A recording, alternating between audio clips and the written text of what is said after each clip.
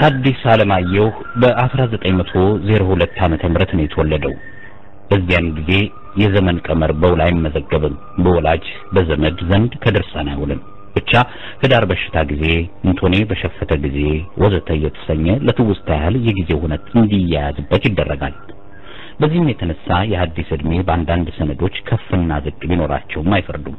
ብቻ የሐዲስ እናት ወይዘሮ ደስታ ዓለሙ የሰገሌ ጦርነት ጊዜ የሰባት ዓመት ልጅ ነበር ያሉትን ያስታውሳል ሐዲስ። የሰገሌ ጦርነት ደግሞ በ1909 ነበር የተካሄደው እና ሲሰላ ልክ 1902 ዓመተ ምህረት ላይ ያርፋል። ቀኑ ሰባት ወሩ ጥቅምት ነው የተወለደበት። ቦታው ደግሞ በደብረ ማርቆስ አውራጃ በጎዛምን ወረዳ ልዩ ስሟ እንዳዶም መንደር ነው። እንዳዶም አጥቢያ ደብሯ ኪዳነ ምሕረት ነው እና እንዶዳ እንዳዶም ኪዳነ ምሕረት ይሏታል። ሐዲስ ከካህን ቤተሰብ ነው የወጣው። አባቱ አለቃ አለማየሁ እዛው ጎጃም ከደብረ ኤልያስ ነው የመጡት። እንዳዶም መጥተው ከደስታ ዓለሙ ጋር ተጋብተው ብዙም አልቆዩ። ሐዲስ ገና የሁለት ዓመት ምንጭቁል ላይ ያለ ወደ ኢሉባቦር ሄዱ። እርሳቸው ወንጌል ለማስተማር በተዋህዶ እምነት ለመስበክ ተጉዘው እዛው ኢሉባቦር ብዙ መንደሮችን በአበ ነፍስነት አገልግለዋል። አለቃ አለማየሁ በተለይ በተለይ የዜማ ሊቅ ነበሩ። ተማሪዎች ዜማ ችሎታቸውን የሚያስመሰክሩት እሳቸው ፊት ነበረ። ሐዲስ ታዲያ ለእናቱና ለአባቱ አንድ ነው። እናቱ ከሱ በኋላ ሁለት ወንዶችና ሶስት ሴቶች ከሌላ ባል አግብተዋል። አባቱም ሌላ አግብተዋል። ሌላ ልጅ ለማግኘት ባይታደሉም ለአባቱ አንድ ነው። እድገቱ እናቱ ቤተሰቦች ቤት በእናቱ ክብካቤ ነው። የእንዳዶም የልጅነቱ ወቅት እንደ ጠዋት ጀንበር የጣፈጠ ነበረ። ከኩዮቹ ጋር ጨዋታው፣ ፍየል፣ በግ መጠበቁን ወዘተ እያወሳ የሚያሞቅ ትዝታውን ያጫወተበት ታሪክ አለ። ሐዲስ በእናቱ አባት ከስድስት ዓመቱ አንስቶ እስከ 15 እስኪሞላው የዜማ ትምህርት ዘለቀ። በተለይ ጾመ ድጓን በአግባቡ ማጠናቀቁን ጭምር ይነገራል። ማለፊያ የዜማ ችሎታ ያለው ሐዲስ ቅኔ ለመማር ያቀናው ወደ አባቱ የትውልድ ስፍራ ኤልያስ ነበረ። አከታትሎም ወደ ደብረ ወርቅና ዲማ በመጓዝ የቅኔ ትምህርቱን በአግባቡ አጠናቀቀ። የቅኔውን ትምህርት እንደጨረሰ የመምህሩ ዱካ ተከትሎ በ1918 ዓመተ ምህረት ወደ አዲስ አበባ ይመጣል። መምህሩ የቅዱስ ገብርኤል አለቃ ሆነው ኋላ ላይ ተሾመዋል። ሐዲስ እንዴት ቀዳዳውን እንዳገኘ አይታወቅም። መቼም የእድል እጅ አካሄዷ ምስጢር ነውና አዲስ አበባ እንደመጣ አምስት ኪሎ ቅድስት ማርያም አካባቢ ከሚገኘው የሱድን ሚስዮን የመካነ ኢየሱስ ትምህርት ቤት ገባ። በአማርኛና በግዕዙ ሀገራዊ ትምህርት የገፋው ሐዲስ የዘመኑን የአስኳላ ትምህርት እዛ ሚስዮን ትምህርት ቤት ሲጀምር አንድ ብሎ ነበር። እንግሊዝኛ ቋንቋ መማር የጀመረበት ጊዜ ነው። ከርዕሰ መምህሩ አንስቶ እስከ ቤተ አስተማሪዎቹ ድረስ የስዊድን ተወላዲያን ነበሩ። ሁለቱን ዓመት በትምህርት ቆይቶ ከሶስተኛ ክፍል ጀምሮ እስከ ስድስት የተማረው ግን ተፈሪ መኮንን ነው። በነገራችን ላይ የዛኔው ስርዓት ትምህርትን ከዛሬው ጋር ለማመዛዘን አይቻልም። የያኔው የስድስተኛ ክፍል ተማሪ ማለት በሁለተኛ ቋንቋ በእንግሊዝኛ አቀላጥፎ ሊጽፍ የሚችል መጽሐፍ ለመገምገም የሚያስችል የቋንቋ እውቀት የነበረበት መሆኑን ልብ ማለት ይገባል። እዛ ተፈሪ መኮንን እያለ ነው አዲስ የኋላ ኋላ የነፍስ ጥሪ የሆነው የሥነ ጽሑፍ አድባር ዙሪያውን የዞረው። ያኔም ነው በተውኔት በመጻፍና በትወና ልዩ ፍላጎት የተስተዋለው።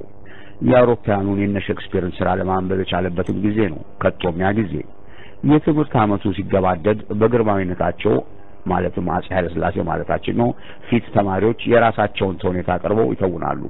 ሐዲስ በእነዚህ ተውኔቶች በተዋናይነት ከመድረክ ውሏል። መምህራኑም ሆነ ተማሪዎች ወደውለት ነበር። የመጀመርም ጻፈ። የአበሻና የወደ ኋላ ጋብቻ ይላል ርዕሱ። ለተውኔቱ መዝሙርም ጽፎለት ነበር። ተነሱ ታጠቁ ኢትዮጵያውያን እንጀምር ስራ በስማ ብለን ርቀው ሄደዋል ጓደኞቻችን እንድንደርስባቸው በጣም ተፋጥነን አሁን በብርሃን ጨለማ ሳይሆን ወደ ኋላ ቀርተን አውሬ እንዳይበላን ኢትዮጵያ ሀገራችን ስለ ነጻነትሽ ይፈሳል ደማችን እያለ የመዝሙሩ ግጥም ይፈሳል።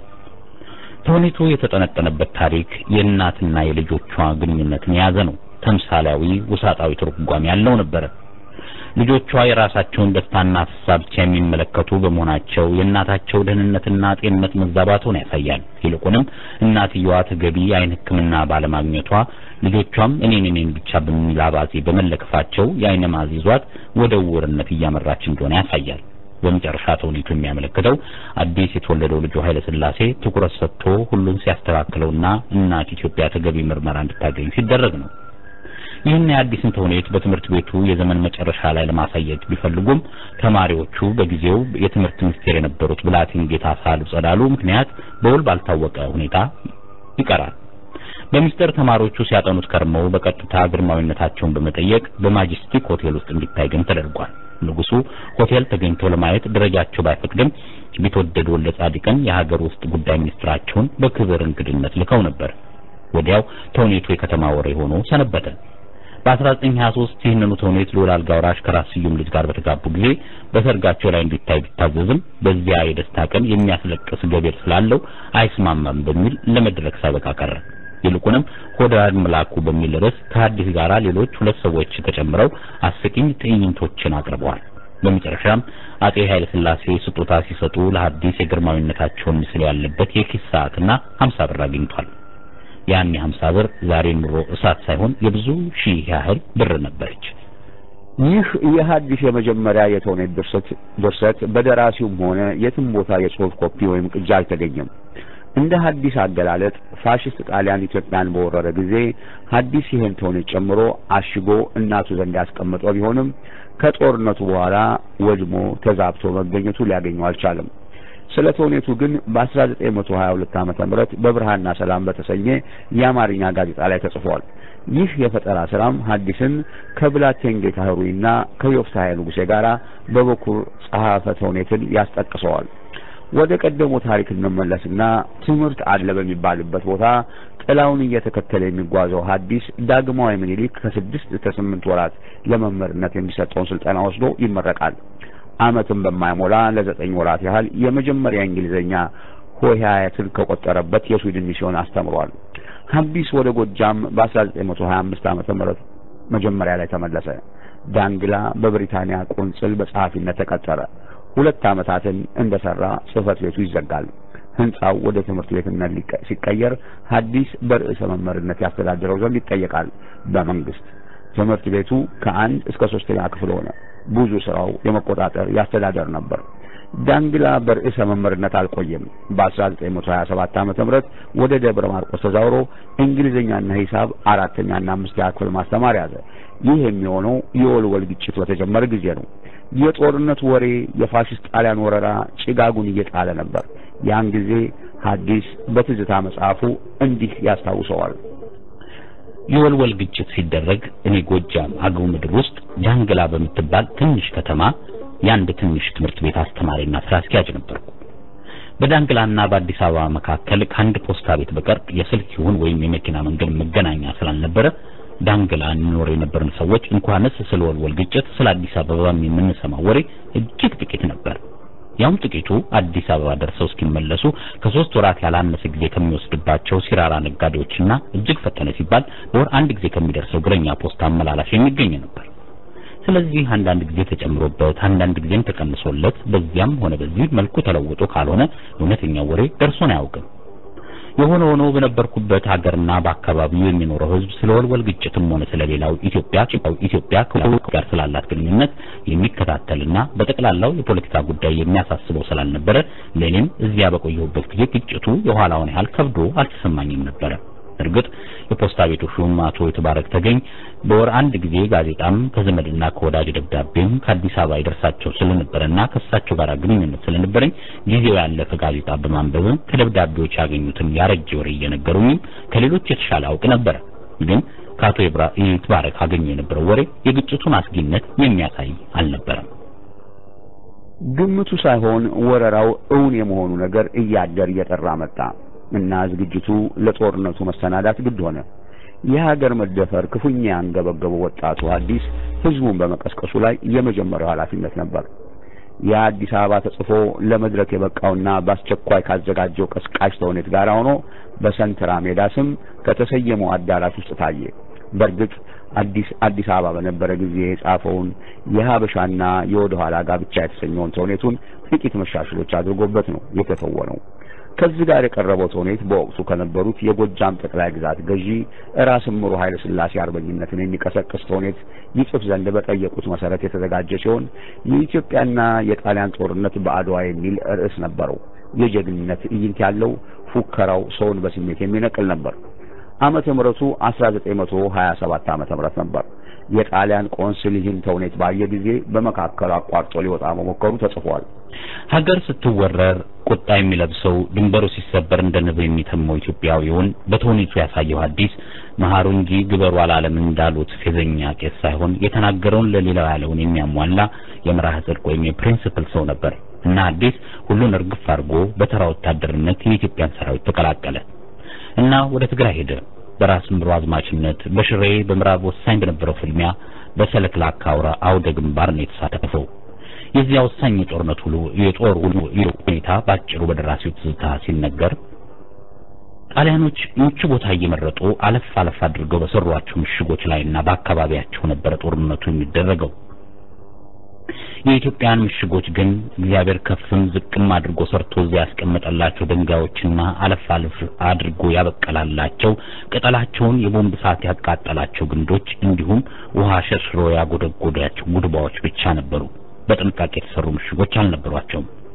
ታዲያ እኒያ ድንጋዮች፣ ግንዶችና ጉድባዎች ጠላት ከከፍተኛ ምሽጉ በከባድና በቀላል መሳሪያ ከሚያወርድባቸው ጥይትና የእጅ ቦምብ በቂ መድን ሊሆኑ ስለማይችሉ እዚያው እንዳሉ የሚገደሉና የሚቆስሉ ብዙ ነበሩ። በአንጻሩ ጠላት አንዳንድ ጊዜ ኢትዮጵያውያን ጉዳት በዝቶባቸው ወደ ኋላ ለማፈግፈግ ሲገደዱ እንዳይመለሱ ቦታ ሊይዝ ከመውጣቱ በቀር የሚበዛውን ጊዜ በጥንቃቄ በተሰራ ምሽግ ውስጥ ተጠብቆ ስለሚዋጋ ያን ያክል ጉዳት አያገኙም። አግኝቶትም እንደሆነ አይታይም። ይህ የኢትዮጵያውያንን ሳያናድድና ሳያስቆጣ እንዳልቀረ የታወቀ ነው። ጠላት የሚተኩሰው ጥይት እነሱን እየገደለና እያቆሰለ እነሱ የሚተኩሱት ጥይት ጠላትን ሲገድልና ሲያቆስል አለማየታቸው እነሱ የሚተኩሱት ጥይት ከሀገራቸው ድንጋይ ጋር ሊዋጉ የዘመቱ ይመስል በጠላት ፈንታ የምሽግ ድንጋይ ሲደበደብ ማየታቸው ይህ ሁሉ የእያንዳንዳቸውን ልብ አስቆጥቶ ሁሉንም ተስፋ አስቆርጦ ተቆርጦ አስቆርጦ አስቆርጦ ሁሉ የሚያደርጉትን እንዲያደርጉ የስሜት መገናኛ አስተባብሮ አስነሳቸው። በዘመናዊ መሳሪያ እስከ አፍንጫው ታጥቆ የመጣው የፋሽስት ጣሊያን ወራሪ ኃይል የመርዝ ጢስ ሳይቀር በመጠቀሙ የኢትዮጵያ ሰራዊት ኢትዮጵያ ሰራዊት ሊኢትዮጵያዎችን ማፈግፈግ መራራ ምርጫ ሆነ። በዚህ ሂደት ውስጥ ነው ራስ ምሩ ሐዲስን ወደ ሱዳን ሄዶ ለደፈጣ ውጊያና ለአርበኞቹ የሚያስፈልጉ ቁሳቁሶችን እንዲገዛ አዘዙት። ከሰራዊቱ ተከዜ ወንዝ አካባቢ ተለይቶ ወደ ሱዳን ሄደ። በኢትዮጵያና ኬንያ የወሰን ከተማ ሞያሌ ላይ ለእንግሊዝ በአስተርጓሚነት ይሰራ የነበረው ዮሐንስ አብዱ ጋራ ሀምሳ ወታደሮች አጅበውት ገዳሪፍ ሱዳን ሐዲስን አድርሰውት ተመለሱ። በግንቦት ወር ሱዳን መዲና ካርቱም የገባው ሐዲስ የታዘዘውን እስከሚያሟላ እዛው እስከ ነሐሴ ወር ይሰነብታል። አዛዡ ራስ እምሩ ኃይለ ሥላሴ በብላቴን ጌታ ኅሩይ ልጆች በፈቃደ ሥላሴና በሲራካማ ደብዳቤ ይልኩለታል። የብላቴን ጌታ ልጆች ወደ ኢንግላንድ ሲሄዱ እግረ መንገዳቸውን ካርቱም መጥተው ነው። ደብዳቤው ሐዲስ ራስ እምሩን በኢሉባቦር ጎሬ እንዲቀላቀላቸው የሚያሳስብ ነበር። የገዛውን ጭኖና አስጭኖ ሐዲስ ነገ ዛሬ ሳይል በመስከረም ወር 1929 ዓመተ ምህረት ከተባለው ቦታ ደርሶ የአርበኝነቱን ትግል ተቀላቀለ። የደፈጣ ውጊያው እንደ ቋያ እሳት በኢትዮጵያ አብዛኛዎቹ ስፍራዎች እየተዛመተ ነው። የፋሽስት ኢጣሊያ የሚችለውን በገንዘብና በሹመት እየደለለ ህዝቡን በመከፋፈል እርስ በርስ ማጋጨት የያዘበት ነበር። የጎሳ ክፍፍሉ የጥላቻ አሰባበኩንም ተያይዞት ነበር፣ ልክ አሁን ወያኔ እንደሚያደርገው ያለ እና አዲስ የተቀላቀለው የአርበኞች ስብስብ ጦርነት የገጠመው ለጣሊያን ካደረው ከወለጋው ገዢ ደጃዝማች ሀብተ ማርያም ገብረ እግዚአብሔር ሰራዊት ጋር ነበር። አስካሪና የባንዳ ሰራዊት በተጨማሪ ከኤርትራ ተልኮለት ነበር። አብዩ የጦርነቱ ውሎ የነበረው ጉያ ከተሰኘችው ቦታ ላይ ነበር። በእርግጥ ብዙ ሰው አለቀ። ለሐዲስ እጅግ አሳዛኝ ልብን የሚሰብር ጦርነት ነበር። ኢትዮጵያውያን እርስ በርስ ሲተላለቁ ማየት። የጉይ ጦርነት በራስ ምሩ በእነ ሐዲስ የአርበኞቹ ወገን አሸናፊነት ተደመደመ እና ጉዟቸውን ወደ ጅማ አደረጉ። ከጉያ ወደ ጅማ መንገድ ላይ ያለ የኢትዮጵያ ለቅሶ የሚል ርዕስ የጻፈው ግጥም ልቡን ያቆሰለውን የክህደትና የባንዳነት ስሜትን ያሳያል። ጥቂት ስንኞችን እንውረድ ገንዘብ እየዘራ ሲመጣ ጠላት ከማታለል ጋራ ከውሸት ስብከት ባጠመደው ወጥመድ እንድትገቡለት ተንኮሉን ሳታውቁ መስሏችሁ እውነት በግ ካራጁ ኋላ እንደሚጎተት ትጎተታላችሁ እናንተም ለሞት አይ ዋዬ ልጆቼ አይ ዋዬ ከዳችሁኝ ወዬ ወደ ታሪኩ እንመለስ። በጉዞ ላይ ያለ ቡኖ ላይ እንደደረሱ ጅማ በፋሽስት ጣሊያን እጅ መውደቋን ሰሙ። እዛው ነበር ሌላ የነጻነት ተፋላሚ አርበኞችን የተቀላቀሏቸውና ወደ ከፋ የገሰገሱት። ጌራ ከተሰኘችው ቦታ ላይ በሰላዮች ሲከታተላቸው ከነበሩ ወራሪ የፋሽስት ጣሊያን ጦር ጋርም ገጠሙ። የኢትዮጵያ አርበኞች በለስ አልቀናቸውም። ቀን ሲከፋ ቀን ሲከዳ ዘመን ይሆናል ባዳ፣ ቀን ሲከፋ ሲቸግር አገር የሰው አገር ይላሉ በገና ደርዳሪዎች። ስለዚህ ቀን ከፋብንና ቀን ከዳንና የጋራ ጠላታችን ድል መተን አገራችንን ነጻ ለማድረግ በምንዋጋው ጦርነት ይተባበሩናል ብለን ሙሉ እምነታችንን ያሳረፍንባቸው ወገኖቻችን ወደው ይሁን ተገደው አላውቅም የጠላት ረዳቶች ሆነው ወጉን። ከጠላታችን ጋር በምናደርገው ረዥም ጦርነት ሸሽጎ ተገን ሆኖ ለመጨረሻ ድል ያበቃናል ብለን የተማመንበት ድናችንን በየዋህነት የጠላት መሳሪያ ለሆኑት ምንደኞች መሸሸጊያ ሆኖ አስወጋን። ያኔ የሆነውን ብዕረኛው የገለጹት ነበር። የከፋው ገዢ የሸዋው ሳህለ ስላሴ የልጅ ልጅ ደጃዝማች ታየ ጉልላትም ከጣሊያን እጅ ወደቁ። ወደ ኋላ ያፈገፈገው የነራስ ምሩ የነ ሐዲስ የአርበኞች ሰራዊት በጎጂ ወንዝ ዙሪያ በጣሊያን ፋሽስት ሰራዊት ተከበው የጦር እስረኞች ሆኑ። የክፉ ቀን ጥላው ሰፋ ከፋ። ሐዲስ ከቦንጋ አዲስ አበባ ከዚያም ወደ ጣሊያን ማጎሪያ እስር ቤት ተወሰደ። ደጃዝማች ታየና ራስ ምሩ ለግዞት ወደ ጣሊያን በአውሮፕላን ተጓጓዙ።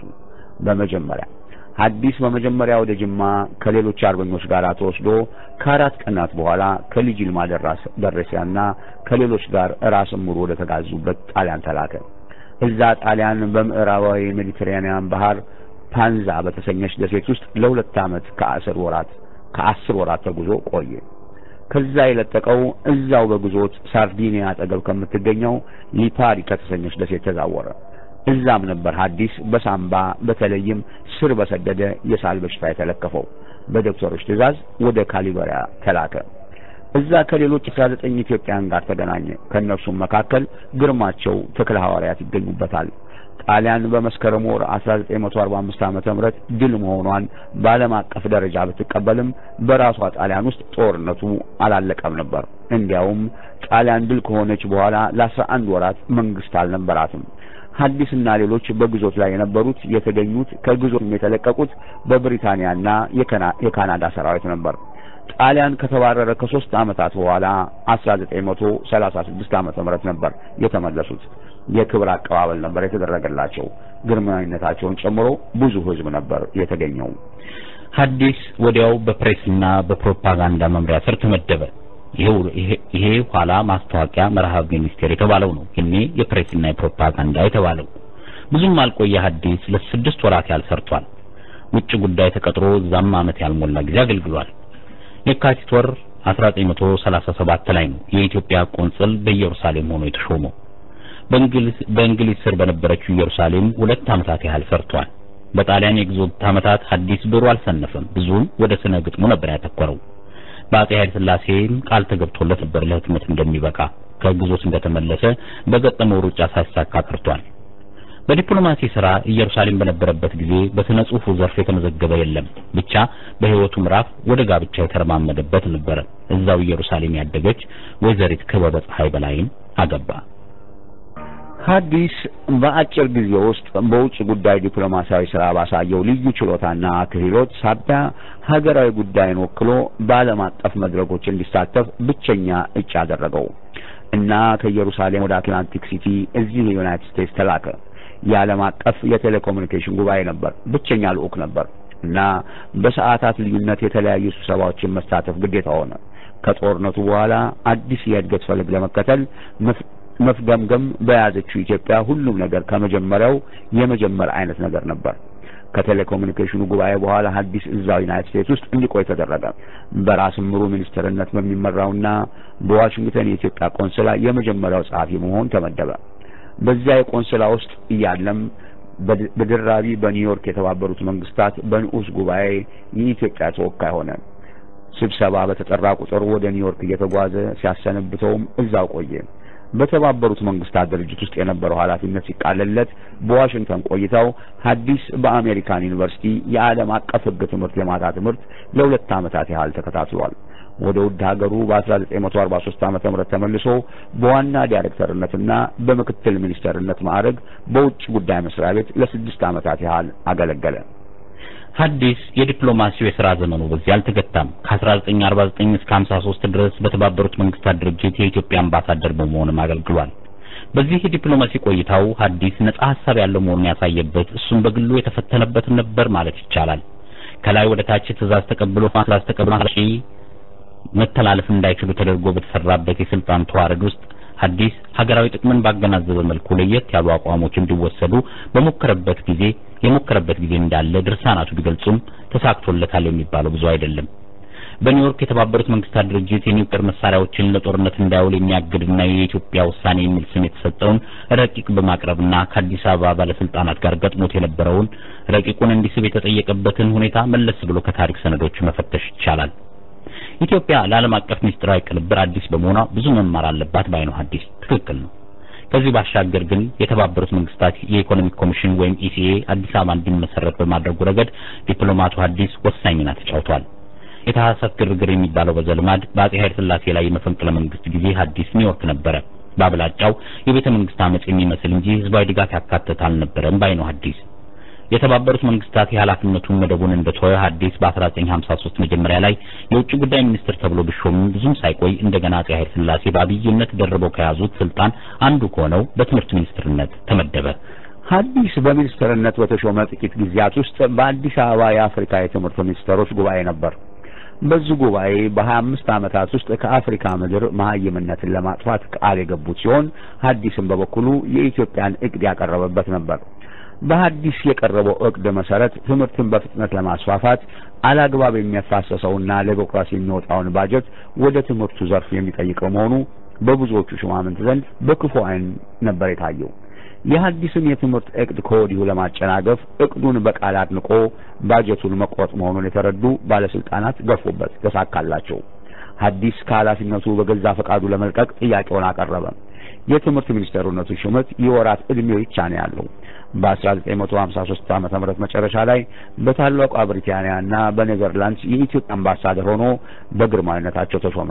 ለሶስት ዓመታት በዚያው ኃላፊነት ስራ ቆይቶ በ1958 ዓመተ ምህረት ወደ አዲስ አበባ እንዲመለስ ተጠየቀ። በሀገራዊ ጉዳይ ላይ ታች ሲል የቆየው ሐዲስ በግል ሕይወቱ ይህ ወቅት ሐዘንና ችግር የደረሰበት ነበር። ልጆችን ለማፍራት አምላክ ፈቃዱ ባይሆንም በፍቅር ተሳስበው ከጎናቸው ሳይለዩ የነበሩት ባለቤታቸው ወይዘሮ ክበበ ፀሐይ ከዚህ ዓለም በሞት ተለዩዋቸው። ልብ የሚሰብር ሐዘን ነበር። አምባሳደር ክቡር ሐዲስ ወደ አዲስ አበባ እንደተመለሱ የኖሩበት የነበረውና ዩኒቨርሲቲ አካባቢ የነበረውን ቤታቸውን ለሕፃናት ማሳደጊያ ይሆን ዘንድ ለከተማዋ ምክር ቤት ለገሱ። በሚስታቸው በክበበ ፀሐይ ስምም ነው የተሰየመው። ሐዲስ ከባለቤታቸው ሞት በኋላም ሌላ ሴት ሳያገቡ ነው እስከ መጨረሻው የዘለቁት። ፍቅር እስከ መቃብር ይሏል እንደ መጽሐፉ። የኑሮ አጋራቸውን በሞት መነጠቃቸው ብቻ ሳይሆን ራሳቸውም የጤንነታቸው ጉዳይ በመልካም ይዞታ ላይ አልነበረም። ከእንግዲህ የዶክተር ትእዛዝ ጋር ነበረ የመጡት ለአንድ ሁለት ዓመታት እንዲያርፉ ከሚያዝ ማዘዣ ጋር። ክቡር ሐዲስ ወደ አዲስ አበባ በተመለሱበት ጊዜ በኢትዮጵያ መንግስት ውስጥ የተሃድሶ ለውጦች እየተደረጉ ነበረ። ንጉሱ ጠቅላይ ሚኒስትሩን ሰይመው ጠቅላይ ሚኒስትሩ ደግሞ ሚኒስትሩን የሚሰይሙበት ሂደት እግሩ እየገባ ነበር እና ጠቅላይ ሚኒስትር ጸሐፊ ትእዛዝ አክሊሉ ሀብተወልድ ክቡር አቶ ሐዲስን ሚኒስትሮች ምክር ቤት እንዲቀላቀሉ ጠየቋቸው። በመጀመሪያ ላለመቀበል አንገራግረው ነበር። ኋላ ግን በወዳጆቻቸው ከፍተኛ ግፊትና ጉትጎታ የልማትና የእቅድ ሚኒስቴር የኃላፊነትን ቦታ ተረከቡ። እስከ 1961 ዓመተ ምህረት ማለት ለሶስት ዓመታት በዚህ ኃላፊነት ካገለገሉ በኋላ አሁንም በባጀት ምደባ ምክንያት በገዛ ፈቃዳቸው ለመልቀቅ ተገደዱ። ከዚያ በኋላ ባሉት ዓመታት እስከ የካቲት አብዮት ድረስ በሕግ መወሰኛ ምክር ቤት በአባልነት አገልግለዋል። ክቡር ሐዲስ የኢትዮጵያ ጠቅላይ ሚኒስትር እንዲሆኑም በደርግ ተጠይቀው እንደነበር የሚታወስ ሲሆን እርሳቸው ሀገሪቱ የምትመራበት ፕሮግራም በሌለበትና በልምድና በትምህርት የበለጸጉ ሰዎች እስር ቤት ባሉበት ሁኔታ የማይቻል መሆኑን በመግለጽ አሌ ማለታቸውንም የገለጹበት ይነበባል። እንዲያውም የሰራዊቱ አባላት ወደ ምድብ ስራቸው እንዲመለሱ መጠየቃቸው ይፋ ነው። ደርግ ጠቅላይ ሚኒስትር አድርገዋል ያለውን ሰው እንዲያስር አፍሮ እንጂ የወሰዱትን አቋም እንዳልተዋጠለትም ይነገራል። ዲፕሎማቱና የፖለቲካው ሰው ክቡር ሐዲስ ዓለማየሁ ከትምህርት ቤት ገና በለጋነታቸው የጀመሩት የሥነ ጽሑፍ አዝመራቸው በከፍተኛ መንግስታዊ ስራዎች በተወጠሩበት ጊዜ እንደ ልብ ባይገኝም በ1958 ዓመተ ምህረት ለመታተም እድል ያገኘው ፍቅር እስከ መቃብር የአብይ ወጎች ሁሉ ቁንጮ ነው። ይህን ታላቅ ድንቅ የሥነ ጽሑፍ ውጤት አህዱ ብለው ብዕር ያነሱት በዋሽንግተን አንደኛ ጸሐፊ ሆነው በሚሰሩበት ጊዜ ነበረ። ሀያ ዓመታት በኋላ መሆኑን የታተመው። በነገራችን ላይ ደራሲ ሐዲስ ዓለማየሁ ፍቅር እስከ መቃብር መጽሐፍ የጀመሩት በእንግሊዝኛ ሲሆን ጽፈው ከመጨረሳቸው ቀደም ብሎ ረቂቁን ኒውዮርክ ለአንድ አሳታሚ ድርጅት ሰጥተውም ነበር። የእንግሊዝኛው ህትመት አለመሳካቱን እንዳወቁ በአማርኛ መጽሐፍ ይጀምራሉ። ረዥም ጊዜ ወስደዋል። በመሀል የተቋረጠበት ጊዜ እንዳለ ደራሲው ሲናገሩ በተለይ ባለቤታቸው ከሞቱ በኋላ ለአንድ ዓመት ያህል ትተውት ነበር። ፍቅር እስከ መቃብር መጽሐፍን ያሳተሙትም ተበድረው ነበር። በመጀመሪያ ያሳተሙት አምስት ሺህ ቅጂ ነበር። ቀጥሎም ሰባት ሺህ ሽያጩ ግን ጥሩ ነበር። በነገራችን ላይ የድንቅ መጽሐፍ አሁን ስምንተኛ እትም ላይ ደርሷል። ፍቅር እስከ መቃብር ትልቁን ሀገራዊ ስዕል የነበረውን የስርዓት ትግልና ፈተና የሚያሳይ ነው። የገጸ ባህሪያቱን አገነባበብና የታሪኩ አወቃቀር፣ የግጭትና የግጭት አፈታቱ የመጽሐፉን ተነባቢነት አብቶታል። በዚህ ረዥም ልቦለድ ወይም አብይ ወግ ውስጥ አንዳንድ የደራሲውን ግለ ታሪክ አመለካከትና እምነትን ይንጸባረቅበታል። ለዚህም ዲማ ደራሲው የቅኔ ተማሪ ሆነው ያዩትና ያስተዋሉት ከቶንም ያለፉበት ታሪክን ይመለከቷል። ዋናው ገጸ ባህሪ በዛብህ ወደ አዲስ አበባ ያደረገው ጉዞና የአዲስ አበባ ቆይታው ከገዛ ብዕረኛው የልምድ ኮዳ የተቀዳ ይመስላል።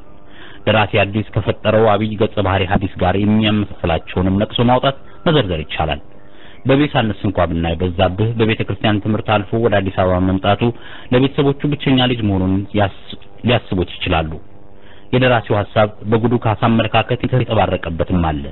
ለድሃ ተቆርቋሪነታቸውን፣ ለተበደለ መንገብገባቸውን፣ ለውጥ ታድሶ ፈላጊ መሆናቸውን እውነታ በጉዱ ካሳ የተነገረውን አብነት ማድረግ ይቻላል። የዚህ የፈጠራ ስራ መቼት ማለትም የጊዜውና የቦታው አሰናኘትም እንዲያው ገላጭ ነበር።